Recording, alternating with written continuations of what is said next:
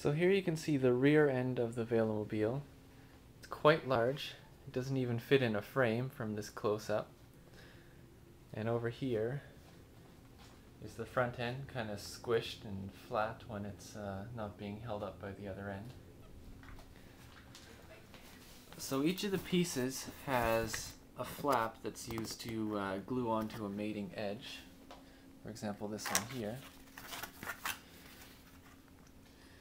And so these will actually be, uh, first of all, cleaned with either the Polyprep or if you're using 406 um, with just basic lacquer thinner.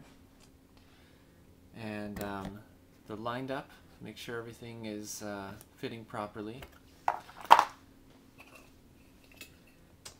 And then they get clamped together with these simple binder clips. So inside, see this entire row along here. This is probably dry by now, but um, evenly spaced so that there's no uh, larger gaps. And those are actually enough to hold everything together. Uh, no need for additional clamping. Um, they actually are quite sturdy and uh, keep everything from moving around while it's being glued.